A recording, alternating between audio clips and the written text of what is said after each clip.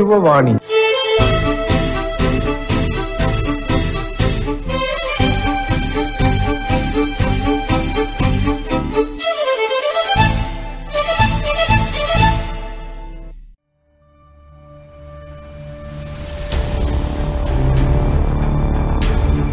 സന്തോഷക്കൊടുമുടിയിൽ.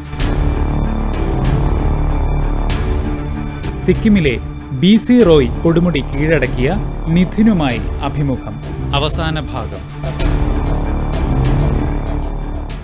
കൊടുമുടിയുടെ base ക്യാമ്പിലായിരുന്നു നിതിനോടൊപ്പം നമ്മൾ. എങ്ങനെ കയറി എന്ന അനുഭവം കേൾക്കാനായിട്ട് നമ്മൾ ഇരിക്കുകയാണ്.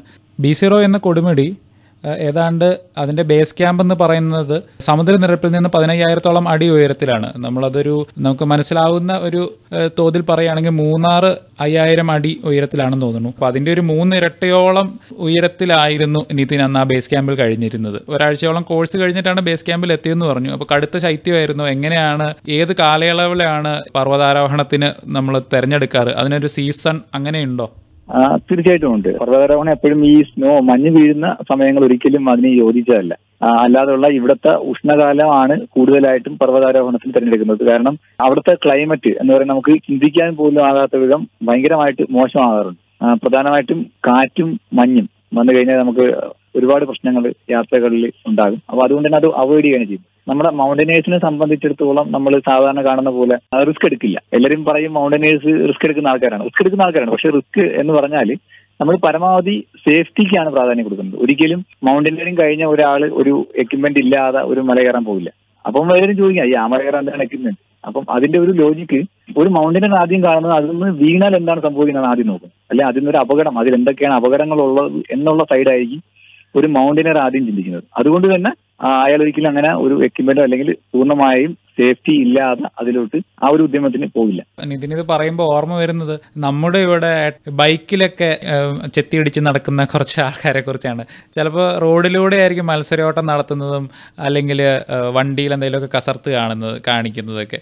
ഈ അഡ്വഞ്ചർ അല്ലെങ്കിൽ സാഹസികത എന്നൊക്കെ കാണിക്കുമ്പോൾ അതിന്റെ ഒരു എപ്പോഴും കാണിക്കുന്ന ഒരു ഉദാഹരണമാണ് ഇങ്ങനെ പർവതത്തിലൊക്കെ ആളുകൾ കയറി പോകുന്നതും അങ്ങനെയുള്ള വിഷ്വൽസൊക്കെ അപ്പോൾ പക്ഷേ ഇപ്പോൾ മൗണ്ടനറായ നിതിൻ തന്നെ പറയുന്നു സുരക്ഷയാണ് ഞങ്ങൾക്ക് ആദ്യം പ്രാധാന്യം. ആദ്യം ഞങ്ങൾ വിചാരിക്കുന്നത് ഇവിടുന്ന് താഴെ വീണാൽ എന്ത് പറ്റും? അങ്ങനെയാണ്. അപ്പോൾ ഇങ്ങനെ ഈ സുരക്ഷയെക്കുറിച്ച് വിചാരമില്ലാതെ സാഹസികരാണ് ഞങ്ങളെന്ന് കാണിക്കാൻ വേണ്ടി ഇങ്ങനെ കാട്ടിക്കൂട്ടുന്നവരോട് എന്താണ് നിതിന് പറയാനുള്ളത്? ശരിക്കും പറഞ്ഞാൽ ഞങ്ങളും ഞങ്ങളും ഇപ്പോൾ തുടക്കത്തിൽ ആ, എന്താണ് ആദ്യമൊക്കെ മല കയറാൻ പോകുമ്പോൾ ഒരു പാറ കണ്ടാൽ ഇവിടെ ഒരു പാറയാണല്ലോ ഇവിടെ കൂടുതലും പാറയാണുള്ളത്. അപ്പൊ ഞങ്ങളും തീർച്ചയായിട്ടും കയറിയിട്ടുണ്ട് പക്ഷെ അന്ന് നമ്മൾ ചിന്തിച്ചിരുന്നില്ല. അതൊന്ന് വീഴും അല്ലെങ്കിൽ വീണ് കഴിഞ്ഞാൽ ഇങ്ങനെ സംഭവിക്കും എന്നുള്ള ഒരു ചിന്താഗതി നമ്മൾ ആലോചിച്ചിട്ട് പോലും ഉണ്ടായിരുന്നില്ല. നമ്മൾ ഇവിടെ ചെല്ലുമ്പോഴാണ് ഇങ്ങനെയുള്ള കോഴ്സ് അല്ലെങ്കിൽ കൂടുതൽ അറിയുമ്പോഴാണ് അതിന്റെ ഇൻസ്ട്രക്ടേഴ്സ് പറയുന്നത്. ആദ്യം നമ്മൾ ചിന്തിക്കേണ്ടത് അപകട സാധ്യത ഒഴിവാക്കുക എന്നുള്ളതാണ്. സേഫ്റ്റിയാണ് മുന്നിൽ മുന്നിൽ കാണേണ്ടത്. കാരണം മൗണ്ടനിയറിങ്ങിനെ സംബന്ധിച്ചിടത്തോളം ഒരു അപകടം ഉണ്ടായി കഴിഞ്ഞാൽ പിന്നെ നമുക്ക് ചിന്തിക്കാൻ നമ്മൾ ഉണ്ടാവണമെന്നില്ല. അതാണ് അതിന്റെ ഒരു പ്രധാന ലോജിക് ഒരു അപകടം എന്ന് പറഞ്ഞാൽ അതിൽ എക്സ്ട്രീം ആയിരിക്കും. അപ്പം പിന്നെ ലക്കാണ് അയാൾ ജീവിച്ചിരിപ്പുണ്ടോ ഇല്ലയോ എന്നുള്ളത് നിശ്ചയിക്കുന്നത്. അപ്പം ഇങ്ങനെ ഇപ്പം പറഞ്ഞ പോലെ ബൈക്കിലും മറ്റും പോകുന്നവരെ കുറിച്ച് പറയാനുള്ളത് അവർക്ക് അത് അറിയാഞ്ഞിട്ടാണ്. അവർ അതിനെക്കുറിച്ച് ആലോചിക്കാത്തത് കൊണ്ടാണ് അല്ലെങ്കിൽ അവർ അതിന്റെ ഭവിഷ്യത്തുകൾ മനസ്സിലാക്കാത്തത് കൊണ്ടാണ് അവരങ്ങനെ ചെയ്യുന്നത്. അത് മനസ്സിലാക്കിയാൽ അവരൊരിക്കലും അങ്ങനെ ചെയ്യില്ല. ഈ ബേസ് ക്യാമ്പിൽ നിന്നും ദൂരത്തിൽ നാല് കിലോമീറ്റർ മാത്രം ഉള്ളെങ്കിലും അതിന്റെ ഉയരത്തിൽ ഏതാണ്ട് ആയിരം അടിയോളം വ്യത്യാസമുള്ള അഡ്വാൻസ് ക്യാമ്പിലേക്ക് പോയി എന്ന് പറഞ്ഞു. നമ്മൾ എന്തുകൊണ്ടാണ് ഇങ്ങനെ ഓരോരോ ക്യാമ്പുകളായി ക്യാമ്പുകളായി പോകുന്നത്? ഒരു ദിവസം കൊണ്ടല്ലേ ഈ മൊത്തം കയറ്റവും നടക്കുന്നത്?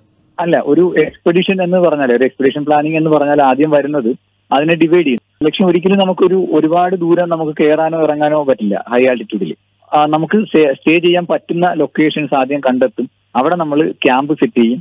അവസാന ദിവസത്തെ ലാസ്റ്റ് ക്യാമ്പ് ആയിരിക്കും അഡ്വാൻസ് നമ്മുടെ ക്യാമ്പ് അപ്പൊ അവിടെ നിന്ന് ഒരു ദിവസം ഏർലി മോർണിംഗ് യാത്ര ചെയ്ത്. അതായത് സൂര്യൻ ഉദിച്ച് വെയിൽ വന്നു കഴിഞ്ഞാൽ നമുക്ക് മഞ്ഞുമല ഇടിയുന്ന ഉൾപ്പെടെയുള്ള റിസ്കുകൾ കൂടുതലാണ്. അതിൽ അതിന് പാറ ചുരിയാനും അങ്ങനെ വീഴുന്ന റിസ്കുകൾ അതുകൊണ്ടാണ് കൂടുതൽ എക്സ്പെഡീഷൻസ് എല്ലാം തന്നെ അതിരാവിലെ തുടങ്ങി ഒരു പത്ത് മണി പതിനൊന്ന് മണിയൊക്കെ ആകുമ്പോൾ അവസാനിക്കുന്നത്. പകൽ. അതിനുശേഷം ആരും ട്രക്കിംഗ് യാത്ര നടത്താറില്ല മഞ്ഞുമലയിൽ. അപ്പം ഞങ്ങളും ഞങ്ങളുടെ ബേസ് ക്യാമ്പിൽ നമുക്ക് എല്ലാ ഫെസിലിറ്റിയും ഉണ്ട്. ഷെഡ് ഉൾപ്പെടെയുള്ള എല്ലാ ഫെസിലിറ്റി എന്ന് പറഞ്ഞു കഴിഞ്ഞാൽ എല്ലാവരും ഞെട്ടും. നമുക്ക് കിടക്കാൻ ഒരു സ്പേസ് ഉണ്ട് എന്നാണ്. ഒരു യോഗ മാറ്റിന്റെ സ്പേസ് എല്ലാവർക്കും കിട്ടും. അത് തന്നെയാണ് അവിടുത്തെ ലക്ഷറി എന്ന് പറയുന്നത്. അപ്പോൾ ഏഴ് ദിവസത്തോളം നമ്മൾ അഡ്വാൻസ് ബേസ് ക്യാമ്പിലായിരുന്നു അത് എക്സ്പെഡിഷൻ ആയതുകൊണ്ടല്ല ഞങ്ങളുടെ കോഴ്സിന്റെ ഭാഗമായിട്ടായിരുന്നു അത്. അത് പതിനയ്യായിരത്തി അഞ്ഞൂറ് അടിയാണ് അവിടുത്തെ ഹൈറ്റ് ആ ചുറ്റും നോക്കിക്കഴിഞ്ഞാൽ നമുക്ക് ഒരു മരം പോലും കാണാൻ കഴിയില്ല ഒരു ചെടി പോലും കാണാൻ കഴിയില്ല. ഫുൾ മഞ്ഞ് മാത്രമായിരിക്കും ഉണ്ടാകുക അതിൽ ആറ് ദിവസവും ഞങ്ങളുടെ ട്രെയിനിങ് പ്രോഗ്രാം ആയിരുന്നു. അപ്പം ഞങ്ങളുടെ അഡ്വാൻസ് ക്യാമ്പ് സ്ഥിതി ചെയ്യുന്നത് റാത്തവും ഗ്ലേഷ്യർ എന്ന് പറയുന്ന ഒരു ഗ്ലേഷ്യറാണ് സിക്കിം ബോർഡർ ആണ് ഏകദേശം. ഏകദേശം ഇന്ത്യയുടെ നമ്മുടെ സിക്കിം ബോർഡറായിട്ട് വരും ഈ ഒരു ഏരിയ. അവിടെ നിന്ന് റാതോങ് നദി എന്ന് പറയുന്ന ഒരു നദിയെല്ലാം ഉത്ഭവിക്കുന്നത് ഈ ഗ്ലേഷ്യറിൽ നിന്നാണ്. ഞങ്ങളുടെ ട്രെയിനിങ് നടന്നത് മുൻപ് എച്ച് എം ഐയുടെ ട്രെയിനിങ് നടന്നുകൊണ്ടിരുന്നത് ഇതേ റാതോങ് ഗ്ലേഷ്യർ തന്നെയായിരുന്നു. അന്നത് വലിയൊരു ഗ്ലേഷ്യർ ആയിരുന്നു. ഇന്ന് നമ്മുടെ ഇൻസ്ട്രക്ടേഴ്സ് പറയുന്നത് പറഞ്ഞാൽ അവർ കണ്ടിരുന്ന ഗ്ലേഷ്യർ അന്ന് ട്രെയിനിങ് നടന്ന ഏരിയയിൽ ഇപ്പം ഐസ് ഇല്ല. അതായത് നമുക്ക് പഠിക്കാനുള്ള ഐസ് ഇല്ലാത്തത് കൊണ്ട് തൊട്ട് തന്നെ അടുത്തുള്ള കാബ്രു ഡോം കാബ്രു എന്ന് പറയുന്നത് ഈ റാത്തോം ഗ്ലേഷ്യറിന് അടുത്തുള്ള ഒരു ഗ്രൂപ്പ് ഓഫ് മൗണ്ടൻസ് ആണ് അപ്പൊ അതിൽ Kabru Dome Kabru North Kabru South ഇങ്ങനെ പറയും. അതിൽ കാബ്രു ഡോം എന്ന് പറയുന്ന ഒരു പർവതത്തിന്റെ താഴെയുള്ള ഗ്ലേഷ്യർ ആയിരുന്നു ഞങ്ങളുടെ ട്രെയിനിങ് ഏരിയ ഡെയിലി ഞങ്ങൾ ഇവിടെ നിന്ന് നടന്ന് ഗ്ലേഷ്യറിൽ പോവുകയും അവിടെ വിവിധ ട്രെയിനിങ്ങുകൾ ഇപ്പം ഐസാക്സ് ഉപയോഗിച്ച് കയറാനായിട്ട് അതുപോലെ തന്നെ ഞങ്ങൾ രണ്ടുപേര് മാത്രം ആൽപൈൻ ക്ലൈംബിംഗ് അങ്ങനെ വിവിധ ടെക്നിക്കുകളുണ്ട് ഒരുപാട് ടെക്നിക്കുകളുണ്ട്. അത് ഒരുപക്ഷെ നമ്മൾ സാധാരണക്കാർക്ക് പറഞ്ഞാൽ അത് മനസ്സിലാകണമെന്നില്ല. അപ്പൊ അത്തരം പഠന രീതികൾ ഒരുപാട് കാര്യങ്ങൾ പഠിക്കാനുണ്ട്. അപ്പൊ അത്തരം അങ്ങനെ പഠിക്കുക പഠിപ്പിക്കുന്ന ഒരു ട്രെയിനിങ് ഏരിയയിലാണ് നമ്മൾ ഡെയിലി അഞ്ച് ദിവസം വരെ നമ്മൾ പോകുന്നത്. ഒപ്പം നമ്മളിങ്ങനെ അക്ലമേറ്റൈസ് ആയിക്കൊണ്ടിരിക്കുകയാണ് ആ ഒരു ക്ലൈമറ്റുമായിട്ട് അതിനുശേഷം ഏഴാമത്തെ ദിവസമാണ് ഞങ്ങൾ ശരിക്കും ഈ ഒരു എക്സ്പെഡീഷൻ പോലെ നമ്മൾ പോകുന്നത്. അന്ന് അതിരാവിലെ തന്നെ. ഞാൻ ഒരു നാലരയൊക്കെ ആകുമ്പോൾ തന്നെ ഉണർന്ന് അത് ഡിസ്റ്റൻസ് പ്ലാൻ ചെയ്യും. നമ്മൾ പതിനയ്യായിരത്തി അഞ്ഞൂറ് അടിയിലാണ് നമ്മൾ സ്റ്റേ ചെയ്യുന്നത്. ഈ ഒരു പീക്കിന്റെ B C mount B C Roy എന്ന് പറയുന്ന പീക്കിന് പതിനെണ്ണായിരം അടിയാണ് ഹൈറ്റ് ഞങ്ങൾ അവിടെ നിൽക്കുമ്പോൾ കാണാം. പീക്കെല്ലാം കാണാം. കണ്ടാൽ തോന്നും നമുക്ക് ഓടി ഓടിപ്പോയിട്ട് വരാമെന്നെല്ലാം തോന്നും. പക്ഷേ അത് നടക്കാൻ തുടങ്ങുമ്പോഴാണ് അത് എത്രത്തോളം ദൂരെ ആയിരുന്നു എന്ന് നമുക്ക് മനസ്സിലാവുന്നത്. ഞങ്ങൾ ഏകദേശം അഞ്ചു മണിയോടുകൂടി തന്നെ അന്ന് അവിടെ നിന്ന് യാത്ര ആരംഭിച്ചു. ഓരോരുത്തർക്കും ഉള്ള റേഷൻ അവരവർ തന്നെ കൊണ്ടുപോകണം. അവരവരുടെ എക്യുപ്മെന്റ്സ് ഗിയേഴ്സ് എല്ലാം അവരവർ തന്നെ കയ്യിൽ വെക്കണം. അങ്ങനെ വരി വരിയായിട്ട് പോകുന്ന ഒരു ഞങ്ങളുടെ ഒരു ഗ്രൂപ്പ് ആയിരുന്നു അത്. ഞങ്ങൾ അഞ്ചു മണിക്ക് തുടങ്ങിയ യാത്ര ഏകദേശം പതിനൊന്ന് മണിയോളം ആയപ്പോഴത്തേക്കാണ് ഞങ്ങൾ മുകളിലെത്തുന്നത്. അതൊരു വല്ലാത്തൊരു അനുഭവമായിരുന്നു. ഒരുപക്ഷെ ഞങ്ങളുടെ ലൈഫിൽ ഞാനൊക്കെ ആ കോഴ്സിന് പോകുമ്പോൾ തന്നെ നമ്മുടെ ലക്ഷ്യം ഈ ഇത്രയും ഹൈറ്റ് ആണ് പതിനെണ്ണായിരം അടി ഹൈറ്റിൽ എനിക്ക് കയറണം അതിന്റെ മുകളിൽ നിന്നിട്ട് താഴോട്ട് നോക്കണം എന്നുള്ളതാണ് ഞങ്ങളുടെ ഒരു ലക്ഷ്യം. ആ ഒരു കാഴ്ചയാണ് ഞങ്ങളുടെ ആവേശവും അല്ലെങ്കിൽ ആ ഒരു പ്രേരണ എന്ന് പറയുന്നത്. നിങ്ങൾ എന്താണ് കഴിക്കുക ഈ സമയത്തൊക്കെ? ഡയറ്റ് ഒരു ഇമ്പോർട്ടന്റ് ആണ്. അവിടെ നമ്മുടെ ഹൈ ആൾട്ടിറ്റ്യൂഡിൽ പ്രത്യേകിച്ച് വെള്ളം ഒരുപാട് കുടിക്കണം കമ്പൽസറി കുടിച്ചിരിക്കണം. നമുക്ക് ദാഹിച്ചില്ല എങ്കിൽ പോലും വെള്ളം കുടിക്കണം. അതിന്റെ അതും റേഷനാണ് ഇത്ര ലിറ്റർ വെള്ളം കുടിക്കണമെന്നുണ്ട്. ഒരു മിനിമം ഒരാൾ ഇല്ലെങ്കിൽ മൗണ്ടൻ സിക്നസ് വരാനുള്ള സാധ്യത കൂടുതലാണ്. മധുരം അടങ്ങിയ ചോക്ലേറ്റ്സ് നമ്മൾ ഉപയോഗിക്കാറുണ്ട് കൂടുതലായിട്ട്. അതുപോലെ തന്നെ ദാൽ പൊട്ടറ്റോ കാർബോഹൈഡ്രേറ്റ് കണ്ടന്റ് കൂടുതലായിട്ടുള്ള ഫുഡുകളാണ് യൂസ് ചെയ്യുന്നത്. നമ്മളൊരു എക്സ്പെഡിഷൻ പോകുമ്പോൾ കൂടുതലും യൂസ് ചെയ്യുന്നത് സൂപ്പി ഫുഡാണ് പ്രിഫർ ചെയ്യുന്നത്. പെട്ടെന്ന് ഉണ്ടാക്കാൻ പറ്റുന്ന സൂപ്പി ആയിട്ടുള്ള ഫുഡ് അത് ടിൻ ഫുഡ് ആയിരിക്കും കൂടുതൽ യൂസ് ചെയ്യുന്നത്. ഒപ്പം ചോക്ലേറ്റ്സ് ഡ്രൈ നട്ട്സ് ഇതെല്ലാം നമ്മൾ യൂസ് ചെയ്യും. എനർജി കിട്ടുന്ന ടൈപ്പ് ഫുഡുകൾ കാരണം ഒരുപാട് എനർജി അവിടെ ആവശ്യമുണ്ട്. അപ്പൊ അതുകൊണ്ടാണ് അങ്ങനെ ഒരു ഫുഡ് മെയിന്റെയിൻ ചെയ്യുന്നത്. ഈ ഈ ഗ്ലേഷ്യർ എന്ന് പറഞ്ഞാൽ ഐസ് രൂപത്തിലുള്ള നദിയാണോ? എന്താണത്? ഗ്ലേഷ്യർ എന്ന് പറഞ്ഞാൽ നമ്മളൊരു ഇവിടെ അത് നമുക്ക് ഗ്ലേഷ്യർ കാണണമെങ്കിൽ തന്നെ ഒരു അയ്യായിരം മീറ്റർ ഹൈറ്റിനെങ്കിലും മുകളിൽ പോകണം ആ ലെവലിലായിരിക്കും ഗ്ലേഷ്യർ സ്റ്റാർട്ട് ചെയ്യുന്നത് തന്നെ. അയ്യായിരം മീറ്റർ ആണ്. പതിനയ്യായിരം അടിക്ക് മേളിൽ മാത്രമേ നമുക്ക് ഗ്ലേഷ്യർ കാണാൻ പറ്റുള്ളൂ ഗ്ലേഷ്യർ എന്ന് പറഞ്ഞാൽ വർഷങ്ങളായിട്ട് സ്നോ വീഴുന്ന ഒരു പ്രോസസ് ഉണ്ടാവും ഈ സ്നോ കുന്നുകൂടി സ്നോയോടൊപ്പം തന്നെ അവിടുത്തെ മണ്ണ് പാറ കഷ്ണങ്ങളൊക്കെ ഉരുകി ഇങ്ങനെ കിടന്ന് അതെല്ലാം ഐസിനോടൊപ്പം മിക്സ് ആയി. ആ മുകളിൽ വീണ്ടും വീണ്ടും മഞ്ഞ് വീഴുന്ന ഭാരത്തിൽ അത് ക്രമേണ പ്രോസസ്സായി ഐസായിട്ട് മാറും. ഹാർഡ് ഐസായിട്ട് മാറും. അതായത് നമ്മൾ വെട്ടിയാൽ പോലും ഏക്കാത്ത രീതിയിലുള്ള ഐസ് ആക്സ് വെച്ചിട്ട് വെട്ടിയാൽ പോലും വെട്ടേക്കത്തില്ല. അത്തരം ഹാർഡ് ഐസായിട്ട് മാറുന്നതിനെയാണ് ഗ്ലേഷ്യർ എന്ന് പറയുന്നത്. അത് ഉരുകിക്കൊണ്ടിരിക്കും. തീർച്ചയായിട്ടും അത് ഒഴുകുന്ന നദിയൊന്നുമല്ല. അതിന്റെ എൻഡിൽ നിന്ന് ഇതിങ്ങനെ വെയിലടിക്കുമ്പോഴും മറ്റുമെല്ലാം ഗ്രാജുവലി അത് ചെറു കുറേശ്ശെ കുറേശ്ശെ ഉരുകിക്കൊണ്ടേയിരിക്കും. അവിടെ നിന്നാണ് ഈ ഉരുകുന്ന ചെറിയ ചെറിയ വെള്ളത്തുള്ളികൾ അല്ലെങ്കിൽ ചാലുകൾ വന്ന് ചേർന്നാണ് നദികളുടെ ഉത്ഭവം ഉണ്ടാകുന്നത്. ഇപ്പം ഗംഗ ഉത്ഭവിക്കുന്നത് ഗംഗോത്രി എന്നാണെന്ന് പറയുന്നത് ഗംഗോത്രി ആ ഗ്ലേഷ്യറിന്റെ അവിടെ നിന്നാണ് ഉത്ഭവം. അവിടെ നിന്ന് വന്ന് കുറെ കൈത്തോടുകളും ചേർന്ന് എന്നാണ് താഴെ എത്തുമ്പോൾ ഗംഗാ നദിയായിട്ട് മാറുന്നത്. അപ്പോൾ ഇത് ഈ ഗ്ലേഷ്യറിന്റെ ഈ വലിപ്പം ചെറുതാവുന്നതൊക്കെ നേരിട്ട് കാണുമ്പോൾ നമ്മൾ പണ്ട് സാമൂഹ്യശാസ്ത്ര പുസ്തകത്തിലൊക്കെ ആഗോളതാപനം മൂലം ഹിമപാളികൾ ഉരുകുന്നു എന്ന് പഠിച്ച് അടിവരയിട്ട് പഠിച്ച അക്ഷരങ്ങൾക്കൊക്കെ അർത്ഥമുണ്ടാവുന്നത് അപ്പോഴായിരിക്കും നേരിട്ട് നിതിൻ ഇത് കാണുകയാണല്ലോ. ഇപ്പോൾ നിൽക്കുന്ന സ്ഥലത്ത് ഒരു ഗ്ലേഷ്യർ ഉണ്ടായിരുന്നു എന്നൊക്കെ ഇൻസ്ട്രക്ടർ പറഞ്ഞല്ലോ. അപ്പോൾ അങ്ങനെയൊക്കെ കേൾക്കുമ്പോൾ എന്താ തോന്നാറ്? അതെ ശരിക്കും അത് ഞങ്ങൾ കാണുമ്പോൾ ആണ് നമുക്ക് അതിന്റെ ആ ഒരു ഭീകര അവർ പറയുന്നത് കേൾക്കുമ്പോഴാണ് നമുക്ക് ആ ഒരു ഭീകരാവസ്ഥ മനസ്സിലാകുന്നത്. അതുപോലെ നമ്മൾ ട്രെയിനിങ് ചെയ്യുമ്പോൾ നമുക്ക് മനസ്സിലാകും. ഉച്ചയാകുമ്പോഴേക്ക് ആ വെള്ളം ഒഴുകി വരുന്ന ഫാസ്റ്റ് ആകുന്നതും ഒക്കെ നമുക്ക് കാണാൻ പറ്റും. അത് കൂടാതെ തന്നെ പണ്ട് ഉണ്ടായിരുന്നിടത്ത് നിന്ന് ഇത്ര ഉയരത്തിലോട്ട് ഈ വർഷം ഇത്ര വർഷം കൊണ്ട് പോയി എന്ന് പറയുമ്പോൾ വർഷങ്ങളായിട്ട് വീണുകൊണ്ടിരുന്ന ഐസാണത് പക്ഷെ ഇപ്പം പുതുതായിട്ട് ഗ്ലേഷ്യർ ഉണ്ടാകുന്നില്ല എന്ന് മാത്രവുമല്ല അത് ഉരുകുന്നതിന്റെ സ്പീഡ് കൂടുകയും ചെയ്യുന്നുണ്ട്.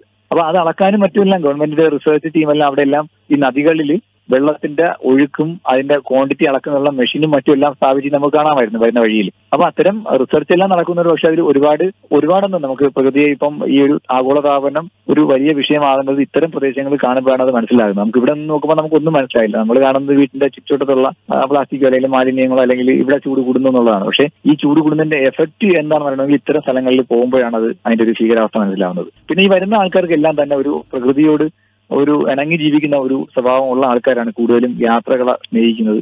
ഒരു മുട്ടായി കവർ പോലും ഞങ്ങളത് വലിച്ചെറിയില്ല.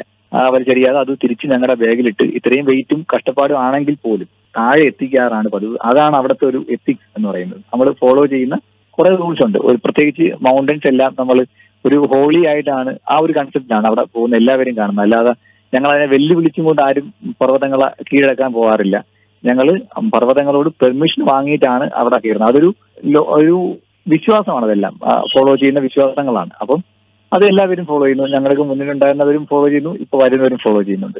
അപ്പൊ അത്തരം ഒരു ഹോളി എന്നുള്ള കൺസെപ്റ്റ് അല്ലെങ്കിൽ പ്രകൃതി എന്നുള്ള ഒരു കൺസെപ്റ്റ് കൂടുതലായതുകൊണ്ട് തന്നെ അവിടെ വരുന്നവരാരും തന്നെ അതിനെ നശിപ്പിക്കാൻ നോക്കാറില്ല. എന്റെയും ഒരു റിക്വസ്റ്റ് നമ്മൾ എല്ലാവരും യാത്രയെ ഇഷ്ടപ്പെടുന്നവരാണെങ്കിലും അല്ലെങ്കിലും നമ്മൾ പ്രകൃതിയിൽ നമുക്ക് ആ പ്രകൃതി ഉള്ളത് കൊണ്ടാണ് അവിടെ പോകാൻ തോന്നുന്നത് അല്ലെങ്കിൽ പോകാൻ കഴിയുന്നത്. അപ്പൊ അത് ഇല്ലാതാക്കാനുള്ള ഞങ്ങളുടെ ഭാഗത്തു നിന്നുള്ള ശ്രമം പരമാവധി കുറയ്ക്കുക എല്ലാവരും.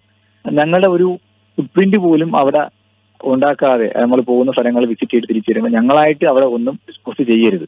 അത് എല്ലാവരും ശ്രദ്ധിക്കുന്നത് ഈ പ്രകൃതിക്ക് തന്നെ നമ്മൾ ചെയ്യുന്ന ഒരു വലിയൊരു കാര്യമായിരിക്കും. മിക്കവാറും ഇതുപോലെയുള്ള എക്സ്പെഡിഷനുകളിൽ അവസാനത്തെ ഒരു കയറ്റം ഏറ്റവും ബുദ്ധിമുട്ടേറിയതാണ് എന്ന് കേട്ടിട്ടുണ്ട്. ഇപ്പോൾ എവറസ്റ്റിലാണെങ്കിലും അവസാനത്തെ ഒരു ഒരു ഒരു പ്രത്യേക ഭാഗം കയറാനാണ് ഏറ്റവും പാട്. അത് കയറി കഴിഞ്ഞ് കിട്ടിയാൽ പിന്നെ എളുപ്പമായി എന്ന് കേട്ടിട്ടുണ്ട്. അങ്ങനെ എന്തെങ്കിലും ഒരു ഭാഗം ഈ ബി സീറോയി മൗണ്ടൻ ഉണ്ടായിരുന്നു? തീർച്ചയായിട്ടും തീർച്ചയായിട്ടും. ഞാൻ എനിക്ക് പോലും ഞാൻ പോലും എന്റെ കുഞ്ഞിലെ എവറസ്റ്റ് നമ്മൾ പഠിക്കുന്ന സമയത്ത് എവറസ്റ്റ് എണ്ണായിരത്തി എണ്ണൂറ്റി നാൽപ്പത്തെട്ട് മീറ്റർ ആണെന്നൊക്കെ കേൾക്കുമ്പോൾ ഞാൻ ആലോചിക്കുകയാണ്.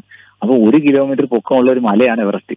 എന്നായിരുന്നു എന്റെ ഒരു നമ്മുടെ എന്റെ ഒരു കൺസെപ്റ്റ് അതായിരുന്നു. ഞാൻ പത്താം ക്ലാസ്സിലെ പഠിക്കുന്ന സമയത്ത്. പക്ഷേ അത് മാറുന്നത്. യഥാർത്ഥത്തിൽ ഇപ്പൊ ഈ B C mount B C Roy എന്ന് പറയുന്നതിന്റെ ഹൈറ്റ് ഏകദേശം ആറായിരം മീറ്ററോളമാണ്. അപ്പൊ അത് ഒരിക്കലും ഒറ്റ പർവതമല്ല ആ ഒരു ഹൈറ്റിലുള്ള. നമ്മൾ കുറെ പർവതങ്ങളിൽ ഹൈറ്റ് കയറി കയറി കയറി അതിലൊരു പീക്കാണ് ഈ ഒരു മൗണ്ട് ബി സീറോ എന്ന് പറയുന്നത്. അപ്പൊ തീർച്ചയായിട്ടും ആ ഒരു പീക്കിന്റെ പോർഷൻ എത്തുമ്പോഴേക്ക് കുറച്ച് സ്റ്റീപ്പ് കൂടുതലായിരിക്കും. ഏകദേശം ഞങ്ങൾ കയറുന്ന തന്നെ എഴുപത് ഡിഗ്രിയോളം സ്റ്റീപ്പൊക്കെ നമുക്ക് പലപ്പോഴും കയറേണ്ടി വന്നിട്ടുണ്ട്. അപ്പൊ നമുക്ക് താഴോട്ട് നോക്കി കഴിഞ്ഞാൽ നമ്മൾ വീഴും നമുക്ക് തോന്നും. വഴിയൊന്നും ഉണ്ടാവില്ല. ലൂസ് റോക്സ് ആണ് ഞാൻ പറഞ്ഞത്. ലൂസ് റോക്സ് ആണ്. അപ്പം ഓരോ കാലും നമ്മൾ സൂക്ഷിച്ചാണ് വെക്കാനുള്ളത്. ഞങ്ങൾ വീണാൽ അല്ലെങ്കിൽ ഞങ്ങളൊരു കല്ല് തള്ളിയിട്ടാൽ പുറകെ വരുന്ന ആൾക്കാരുടെ മുകളിലായിരിക്കും അത് പതിക്കുന്നത്. അപ്പൊ അതും ആ ഒരു അപകടങ്ങളൊക്കെ അതിൽ പതിയിരിക്കുന്നുണ്ട്. പിന്നെ ഈ മഞ്ഞ് വീഴുക എന്നുള്ള കൺസെപ്റ്റ് മഞ്ഞ് മൂടുന്ന ഒരു കൺസെപ്റ്റ് അങ്ങനെ ഇതൊക്കെ നമ്മുടെ യാത്രയെ തടസ്സം ചെയ്യുന്ന കാര്യങ്ങളാണ്. നമുക്ക് ഒരിക്കലും മോശം ക്ലൈമറ്റിൽ ഒരു പീക്ക് എക്സ്പെഡീഷൻ ചെയ്യാൻ കഴിയില്ല. പല എക്സ്പെഡീഷൻസും അങ്ങനെ ഡ്രോപ്പ് ചെയ്തിട്ട് തിരിച്ചു വരുന്ന സന്ദർഭങ്ങളും കുറവൊന്നുമല്ല. ഒരുപാട് എക്സ്പെഡീഷൻസ് നമുക്ക് സക്സസ് ആക്കാൻ പറ്റാത്ത സാഹചര്യം ഇങ്ങനെ വരാറുമുണ്ട്. അപ്പൊ ഞങ്ങൾ പോകുമ്പോഴും ഇതുപോലെ തന്നെ ആയിരുന്നു അന്ന് രാവിലെ തന്നെ ഞങ്ങൾ നടക്കാൻ തുടങ്ങി. ഇതുപോലെ മഞ്ഞ് ലൂസ് ആകുന്നതിന് മുമ്പ് തന്നെ മുകളിലോട്ട് കയറിയെത്തി. ഏകദേശം പത്ത് പതിനൊന്ന് മണിയോട് അടുപ്പിച്ച് നമ്മൾ മുകളിൽ നമുക്ക് കയറാൻ പറ്റി. ടോപ്പിലെത്തി നമ്മൾ അതൊരു വലിയ ബാച്ച് ആവുന്നതാണ് കൂടുതൽ ടൈം എടുക്കുന്നത്. നോർമലി എക്സ്പെഡിഷൻ ടീം എല്ലാം ഒരു പത്ത് പേരിൽ താഴെയുള്ള ടീമായിരിക്കും പോവുക. ഇപ്പൊ ഞങ്ങളുടെ ദേശം ഒരു അമ്പത് പേരോളം ഉള്ള അമ്പത് അറുപതോളം പേരുള്ള ടീമായിരുന്നു അതുകൊണ്ട് തന്നെ അത്രയും സമയവും എടുക്കും. പ്രായോഗിക ബുദ്ധിമുട്ടുകൾ ഉണ്ടാവും. എല്ലാവർക്കും ഒരുമിച്ച് മുകളിൽ കയറാൻ പറ്റില്ല.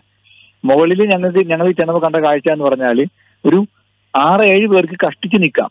അങ്ങനത്തെ ഒരു പീക്കാണത് അതായത് ഒരുപാട് ഏരിയ ഒന്നും ഇല്ല. അതിന്റെ ടോപ്പ് എന്ന് പറഞ്ഞാൽ ആറ് ഏഴ് പേർക്ക് നിൽക്കാം. അതും ഫ്രീ ആയിട്ട് നിൽക്കാൻ പറ്റില്ല. കാരണം നല്ല ശക്തിയായിട്ട് അടിക്കുന്ന കാറ്റ്. ഞങ്ങൾക്ക് ബാഗുണ്ട് ജാക്കറ്റ് ഉണ്ടാവും അപ്പം കാറ്റ് പിടിക്കാനുള്ള സാധ്യത കൂടുതലാണ്. അപ്പൊ എപ്പോഴും റോപ്പാണ് റോപ്പ് വെച്ചാൽ എല്ലാവരും അങ്ങോട്ടും ഇങ്ങോട്ടും റോപ്പിട്ട് ബന്ധിപ്പിച്ചിട്ടുണ്ട്. അങ്ങോട്ടും ഇങ്ങോട്ടും. മെയിൻ റോപ്പുമായിട്ട്. അപ്പൊ ഇൻ കേസ് വീണാലും നമ്മൾ അതിൽ തന്നെ നിൽക്കും. കുഴിയിലോട്ടൊന്നും പോകില്ല. അതിനു വേണ്ടിയിട്ടാണ് അങ്ങനെ ചെയ്യുന്നത്. അപ്പം റോപ്പായിട്ട് തന്നെ ഞങ്ങളൊരു ഗ്രൂപ്പ് ഫോട്ടോ എല്ലാം എടുത്ത് താഴേക്ക് ഇറങ്ങുന്ന ഒരു സിറ്റുവേഷൻ ആണ്. ഒരു രണ്ട് മൂന്ന് മിനിറ്റ് ഞങ്ങൾ മുകളിൽ ടോപ്പിൽ സ്പെൻഡ് ചെയ്യും. താഴെ ഇറങ്ങും. അടുത്ത ബാച്ച് കയറണം. അങ്ങനെ ഒരു ലോങ് പ്രോസസ് ആണത്. അപ്പം അതിന്റെ മണ്ടിൽ നിന്ന് കാണുന്ന ആ ഒരു കാഴ്ച കുറച്ചു സമയം ഞങ്ങൾക്ക് തെളിവ് തെളിവോടെ കാണാൻ പറ്റുള്ളൂ ബാക്കി മഞ്ഞുകൊണ്ട് മൂടി മൂടിയായിരുന്നു. അപ്പം മുകളിൽ നിന്ന് ഞങ്ങൾക്ക് മെയിനായിട്ട് കാണാൻ പറ്റിയ ഞങ്ങളുടെ ബേസ് ക്യാമ്പും അതുപോലെ തന്നെ അവിടെ ഒരു ലേക്ക് ഉണ്ടായിരുന്നു. ആ ലേക്കിന്റെയൊക്കെ ആ ഒരു കാഴ്ചയാണ്. ശരിക്കും പറഞ്ഞറിയിക്കാൻ കഴിയാത്ത ഒരു സന്തോഷമാണ് നമ്മൾ അതിന്റെ മുകളിൽ നിൽക്കുമ്പോൾ. ഇത്രയും കഷ്ടപ്പെട്ട് മുകളിൽ കയറി ആ ഒരു കാഴ്ച കാണുക എന്ന് പറഞ്ഞാൽ അതൊരു അതൊരു വികാരമാണ് ശരിക്കും. അത് എല്ലാവർക്കും ആസ്വദിക്കാൻ പറ്റണമെന്നില്ല. ആ, ചിലർക്ക് അതൊരു വട്ടായിട്ടൊക്കെ തോന്നും. അങ്ങനെ ചോദിക്കുന്ന എന്താണ് നിങ്ങൾ ഈ മരണം വണ്ടേ കേട്ട് കിട്ടുന്നതെന്ന് ചോദിച്ച ഒരുപാട് ആൾക്കാർ അല്ലെങ്കിൽ ഒരുപാട് സുഹൃത്തുക്കൾ എനിക്കുണ്ട്.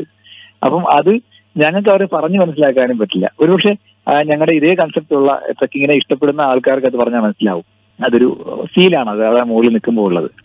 നിതിൻ ഈ പറഞ്ഞ ആ പറഞ്ഞറിയിക്കാനാവാത്ത ആ ഒരു അനുഭവം നിതിന്റെ സോഷ്യൽ മീഡിയയിലേക്കുള്ള പ്രൊഫൈൽ പിക്ചർ എടുത്താൽ നമുക്കത് കാണാൻ പറ്റും. ഈ ഇതിന്റെ ഉന്നതിയിൽ ഇന്ത്യയുടെ പതാകയും എന്തി ചിരിച്ചു നിൽക്കുന്ന ഒരു പടമാണ് നിതിൻ എല്ലാ സോഷ്യൽ മീഡിയ പ്രൊഫൈലുകളിലും ഇട്ടിരിക്കുന്നത്. അപ്പോൾ ആ മുഖത്തു നിന്ന് വായിച്ചെടുക്കാൻ പറ്റും നമുക്ക്. എന്തായിരുന്നു ആ മുകളിൽ കയറിയപ്പോഴുള്ള ഏതാനും നിമിഷങ്ങളാണ് അവിടെ നിന്നത് എന്ന് ചെലവഴിച്ചത് എന്ന് പറഞ്ഞു. ഒരാൾക്ക് കഷ്ടി നിൽക്കാൻ പറ്റുന്ന ഒരു സ്ഥലമാണ്. ഇപ്പോൾ കുറച്ചു നേരം അവിടെ നിൽക്കാൻ പറ്റുള്ളൂ അത്രയും കാറ്റാണെന്ന് പറഞ്ഞു. അത് മാത്രമല്ല മഞ്ഞുരുകുന്ന ഒരു വെല്ലുവിളിയുണ്ട്. അപ്പോൾ അതിനുള്ളിൽ തിരിച്ച് താഴേക്ക് ക്യാമ്പിലേക്ക് എത്തുകയും വേണം. ഈ കയറ്റത്തെക്കാളും കുറച്ചുകൂടി ബുദ്ധിമുട്ടായിരിക്കും അല്ലേ ഇറങ്ങാൻ? കാരണം അത് തെന്നി വീഴാൻ സാധ്യതയുണ്ട് ആപത്തുകളും ഉണ്ട്. അപ്പോൾ ഇറങ്ങുന്ന ആ ഒരു പരിപാടി എങ്ങനെയായിരുന്നു? ഇറങ്ങാനായിട്ട് അതെ തീർച്ചയായിട്ടും ഇറങ്ങാൻ ബുദ്ധിമുട്ടാണ്. എങ്കിൽ പോലും നമുക്ക് ഇറങ്ങുന്നതിനുള്ള ടെക്നിക്സ് ഒക്കെ നമുക്ക് യൂസ് ചെയ്യാൻ പറ്റും. വേറെ ഒന്നുമല്ല നിരങ്ങി ഇറങ്ങാന്നുള്ള ടെക്നിക്കാണ് നമ്മൾ മെയിൻ ആയിട്ട് യൂസ് ചെയ്യുന്നത്. കൂടുതൽ നമുക്ക് നടന്നിറങ്ങാനും ബുദ്ധിമുട്ടുള്ള സമയമാണ് തിരിച്ചിറങ്ങുന്ന സമയത്ത്. ലൂസ് സോക്സ് ആണ് ഞാൻ പറഞ്ഞില്ല. അപ്പം എല്ലാവരും വീഴും. വീഴുന്നത് അവിടെ ഒരു കോമൺ ഫിനോമിനയാണ് അപ്പം വീണ് ഉരുണ്ടു പോകാത്ത രീതിയിൽ ബാലൻസ് ചെയ്ത് നിരങ്ങിയൊക്കെ തന്നെയാണ് മിക്കവരും ഇറങ്ങുന്നത്. ഒരു മൂന്ന് മണിക്കൂർ കൊണ്ട് നമുക്ക് താഴെ എത്താൻ കഴിയും. പോകുന്ന അത്രയും സ്ട്രെയിൻ റിസ്ക് കൂടുതലാണെങ്കിലും അത്രയും സ്ട്രെയിൻ നമുക്ക് താഴോട്ട് ഇറങ്ങാനായിട്ട് ഉണ്ടാവില്ല. അങ്ങനെ ഉച്ച കഴിഞ്ഞോടുകൂടി ഉച്ചയോടുകൂടിയൊക്കെ ഉച്ച കഴിഞ്ഞ ഒരു രണ്ട് മൂന്ന് മണിയൊക്കെ ആയപ്പോഴേക്കും നമ്മൾ ക്യാമ്പിലെത്തി. ക്യാമ്പിലെത്തുമ്പോഴേക്കും അത്യാവശ്യം നല്ല വിശപ്പും ഒക്കെ ആയിട്ടാണ് വന്നത്. അവിടെ നിന്ന് നല്ല ഫുഡെല്ലാം അന്ന് തന്നെ റെഡിയാക്കി വെച്ചു കാരണം അവർക്കറിയാം നമ്മൾ വരുന്ന അവസ്ഥ എന്തായിരിക്കും അറിയാം അതുകൊണ്ട് നല്ല രീതിയിലുള്ള ഞാൻ ഫുഡ് തന്നെ അവിടെ അവർ തയ്യാറാക്കി വെച്ചിട്ടുണ്ടായിരുന്നു ഞങ്ങളെയും കാത്ത്. അപ്പോ എന്താണ് നിതിന്റെ അടുത്ത പരിപാടി. ഇനി മൗണ്ടനിയറിങ്ങുമായിട്ട് മുന്നോട്ട് പോവുകയാണെങ്കിൽ ഇനി എവിടെ കയറണം എന്നൊക്കെയാണ് ഇനി ആഗ്രഹം. അതെ തീർച്ചയായിട്ടും തീർച്ചയായിട്ടും എല്ലാവരെയും പോലെ തന്നെ ഒരു മൗണ്ടനിയർ എന്നുള്ള നിലയിൽ എവറസ്റ്റ് തന്നെയാണ് എല്ലാ മൗണ്ടനിയേഴ്സിന്റെയും ആത്യന്തികമായ ലക്ഷ്യം. പക്ഷെ അതിൽ എത്തിപ്പെടുന്നത് വളരെ കുറച്ച് പേര് മാത്രമാണ്. അതിന് കാരണം പലതാണ് ഏജ് അവരുടെ ലൈഫ് സ്റ്റൈൽ അതുപോലെ തന്നെ സാമ്പത്തികം ഇതെല്ലാം അതിനൊരു തടസ്സം തന്നെയാണ്. അപ്പം ഞാനിപ്പോ ലക്ഷ്യം വയ്ക്കുന്നത് കുറഞ്ഞത് ഒരു പർവതമെങ്കിലും ആറായിരത്തിന് മുകളിലുള്ള ഒരു പർവതമെങ്കിലും വർഷത്തിൽ ഒന്ന് എന്നുള്ള കണക്കിൽ സ്റ്റാർട്ട് ചെയ്യണം. കാരണം ആ ഒരു സ്റ്റാമിന മെയിന്റെയിൻ ചെയ്യണം. അപ്പൊ അങ്ങനെ ഒരെണ്ണമെങ്കിലും ഒരു എക്സ്പെഡിഷനെങ്കിലും ഒരു വർഷം കംപ്ലീറ്റ് ചെയ്യണം എന്നുള്ളതാണ് താൽക്കാലികമായിട്ടുള്ള ലക്ഷ്യം. ആത്യന്തികമായ ലക്ഷ്യം തീർച്ചയായിട്ടും എവറസ്റ്റ് എന്നുള്ള ഒരു കൊടുമുടി തന്നെയാണ്. മൗണ്ട് എവറസ്റ്റ് തന്നെയാണ്. ആത്യന്തികമായ ലക്ഷ്യം. ഇപ്പോൾ ബാങ്കിലേക്ക് തിരക്ക് നമുക്ക് അറിയാവുന്നതാണ് ബാങ്ക് ഉദ്യോഗസ്ഥർ മുമ്പിൽ വന്നിരിക്കുന്നവർ ആരാണെന്ന് നോക്കാൻ പോലും പറ്റാത്തത്ര തിരക്കിലായിരിക്കും അവരവിടെ ജോലികൾ. ഒന്നിനു പുറകെ ഒന്നായി ധാരാളം ജോലികളും സമ്മർദ്ദവും ഒക്കെ ബാങ്കിലുണ്ടാവും. നമ്മൾ ഒരാളോട് ഇപ്പോൾ രാവിലെ നടക്കാൻ പോകാൻ പറ്റില്ലേ എന്ന് ചോദിച്ചാൽ പോലും സമയം തികയുന്നില്ല എന്നൊക്കെ ഒഴികഴിവുകൾ പറയുന്ന ആൾക്കാരോട് ഒരു ബാങ്ക് ഉദ്യോഗസ്ഥനായ നിതിന് അതും ഇതുപോലെയുള്ള മൗണ്ടനിയറിങ്ങും ട്രെക്കിങ്ങും റൈഡിങ്ങും ഒക്കെ പോയിക്കൊണ്ടിരിക്കുന്ന നിതിന് എങ്ങനെയാണ്? ഇതിനൊക്കെ സമയം കണ്ടെത്തുന്നത്? എങ്ങനെയാണ് എന്ന് ചോദിച്ചത് ഇതേ ചോദ്യം എന്റെ ഒരുപാട് പേര് ചോദിച്ചിട്ടുണ്ട്.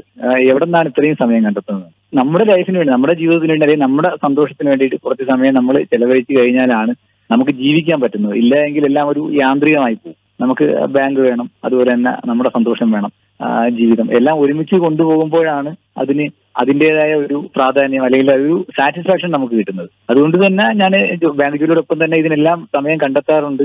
അതിന് അത് ഓരോരുത്തരും ചിന്തിക്കുന്ന രീതിയിലാണ്. അവരുടെ പ്ലാനിങ് ജീവിതം അവരെങ്ങനെ പ്ലാൻ ചെയ്യുന്നു അല്ലെങ്കിൽ സമയം എങ്ങനെ പ്ലാൻ ചെയ്യണം എന്ന് അവരവർക്ക് നിശ്ചയിക്കാം. മിക്കവരും ബാങ്കിൽ ലേറ്റ് സിറ്റിംഗ് ഒക്കെ ഫ്രീ ഇഷ്ടപ്പെടുന്ന ആൾക്കാർ ഒരുപാടാണ്. അവർക്കായിരിക്കാം ഒരുപക്ഷെ ഇതുപോലെ സമയം തികയാതെ പോകുന്നത്. കാരണം അവർ അവരുടെ ജീവിതത്തിന്റെ ജീവിതം ചെലവഴിക്കേണ്ട സമയം കൂടി അവർ ബാങ്കിൽ ചെലവഴിക്കുന്നു എന്നുള്ള ഒരു ഉത്തരവാണ് എനിക്ക് കിട്ടിയിട്ടുള്ളത്.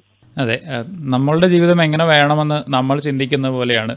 ചിന്താരീതി മാറുമ്പോൾ നമ്മുടെ ഇഷ്ടങ്ങൾ കണ്ടെത്താൻ കഴിയും. നമുക്ക് എന്താണ് ചെയ്യേണ്ടതെന്ന് കണ്ടെത്താൻ കഴിയും. ജീവിതം ജീവിതം എങ്ങനെ വേണമെന്ന് സ്വയം നിശ്ചയിക്കാൻ കഴിയും. അപ്പോൾ അതിനൊരു ഉദാഹരണമാണ് നിതിൻ ഇവിടെ കാണിച്ചു തന്നുകൊണ്ടിരിക്കുന്നത്. എന്തായാലും നിതിൻ ആഗ്രഹിച്ചതുപോലെ തന്നെ എവറസ്റ്റ് കീഴടക്കുക എന്ന വാക്ക് ഞാൻ ഉപയോഗിക്കുന്നില്ല. കാരണം നിതിൻ തന്നെ പറഞ്ഞു ഒരു ഒരു പർവതത്തെയും പ്രകൃതിയുടെ ഒരു ദാനത്തെയും നമ്മൾ കീഴടക്കുകയല്ല.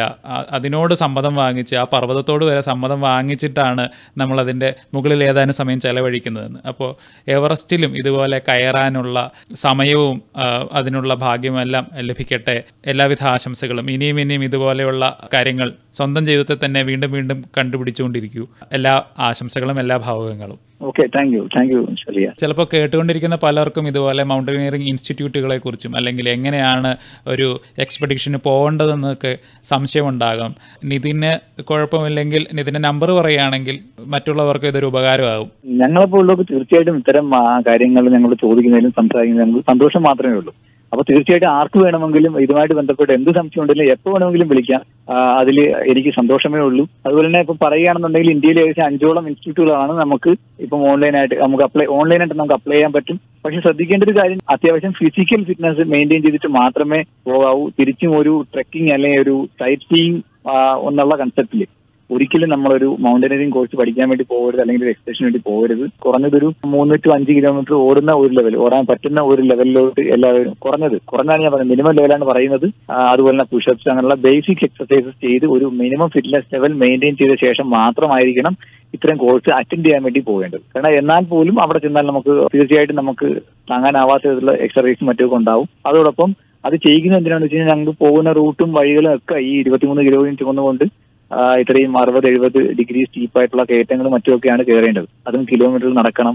മിനിമം ഫുഡ് ഹൈ ആൾട്ടിറ്റ്യൂഡ് ഇങ്ങനെയുള്ള സിറ്റുവേഷൻസ് ഫേസ് ചെയ്യാനായിട്ട് ഫിറ്റ്നസ് ലെവൽ ഇമ്പോർട്ടന്റ് ആണ്. അത് പോകുന്ന ഓരോരുത്തരും മനസ്സിൽ വെച്ചേക്കേണ്ട ഒരു കാര്യമാണ്. നമ്മളൊരു ട്രാവൽ ചെയ്യുന്ന ഒരു മൂഡിൽ ഒരിക്കലും ഇങ്ങനെയുള്ള മൗണ്ടനറിംഗ് കോഴ്സുകൾക്ക് പോകാതിരിക്കാൻ ശ്രമിക്കുക. എന്റെ നമ്പർ ആർക്കും എന്നെ കോൺടാക്ട് ചെയ്യാൻ എന്റെ നമ്പർ ഇതാണ് തൊണ്ണൂറ്റി അഞ്ച് മുപ്പത്തി ഒമ്പത് മുപ്പത്തി എട്ട് നാൽപ്പത്തി ഒന്ന് എഴുപത്തി ആറ് നമ്പർ ഞാൻ ഒരിക്കൽ കൂടി പറയാം. തൊണ്ണൂറ്റി അഞ്ച് മുപ്പത്തി ഒമ്പത് മുപ്പത്തി എട്ട് നാൽപ്പത്തി ഒന്ന് എഴുപത്തി ആറ് അഥവാ വിളിച്ചിട്ട് കിട്ടിയില്ല എന്നുണ്ടെങ്കിൽ എനിക്കൊരു വാട്സാപ്പ് മെസ്സേജ് ഇട്ടാൽ മതി. ഞാൻ തിരിച്ച് കോൺടാക്ട് ചെയ്യാം. സന്തോഷ കൊടുമുടിയിൽ. സിക്കിമിലെ ബി സി റോയ് കൊടുമുടി കീഴടക്കിയ നിധിനുമായി അഭിമുഖം. അവസാന ഭാഗം. നിർവഹണം റിയാസ് കളപ്പുരയിൽ. അവതരണം ആകാശവാണി കൊച്ചി നിലയം. ശ്രോതാക്കൾക്ക് യുവവാണിയെക്കുറിച്ചുള്ള അഭിപ്രായങ്ങളും നിർദ്ദേശങ്ങളും അറിയിക്കാം. തപാലിൽ അയക്കുന്നവർ station director Akashvani Kochi F M Thrikkakara P O അറുപത്തിയെട്ട് ഇരുപത് ഇരുപത്തിയൊന്ന് എന്ന വിലാസത്തിൽ എഴുതുക. വാട്സപ്പ് മുഖേനയും അഭിപ്രായങ്ങൾ അറിയിക്കാം. വാട്സപ്പ് നമ്പർ ഒൻപത് നാല് നാല് ഏഴ് അഞ്ച് ആറ് രണ്ട് രണ്ട് ഒന്ന് രണ്ട്. നമ്പർ ഒരിക്കൽ കൂടി തൊണ്ണൂറ്റിനാല് നാൽപ്പത്തിയേഴ് അൻപത്തിയാറ് ഇരുപത്തിരണ്ട് പന്ത്രണ്ട്. ഇമെയിൽ വിലാസം A I R F M Kochi at gmail dot com ഈ പരിപാടി ഇപ്പോൾ ഞങ്ങളുടെ യൂട്യൂബ് ചാനലായ ആകാശവാണി കൊച്ചി എഫ് എമ്മിലും ലഭ്യമാണ്.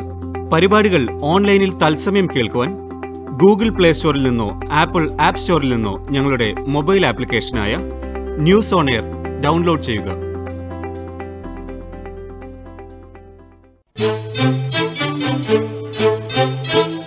യുവവാണി സമാപിക്കുന്നു.